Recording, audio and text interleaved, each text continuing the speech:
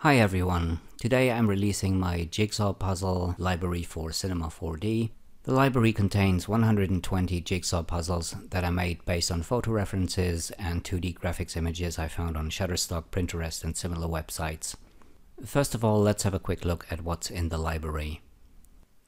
There's a number of circular puzzle shapes, some simple, some more complex, some very complex, and we've got some fluffy little clouds.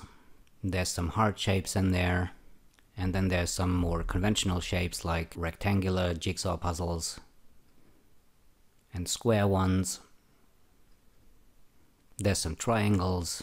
And there's some other shapes in there too, like arrows, bulbs, heads, houses, shields, and stars, for example. If you've watched my previous two videos, you already know how this works. First of all, please download the library. I've put a download link in the video description. And all you need to do is copy the library into your Cinema 4D libraries folder. And when you restart Cinema 4D or open Cinema 4D, you can find that library in your content browser.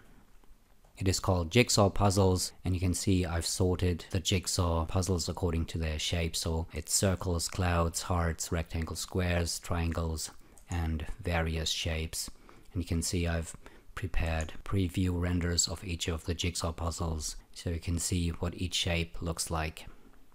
I hope you'll enjoy this library, thanks for watching this video and take care.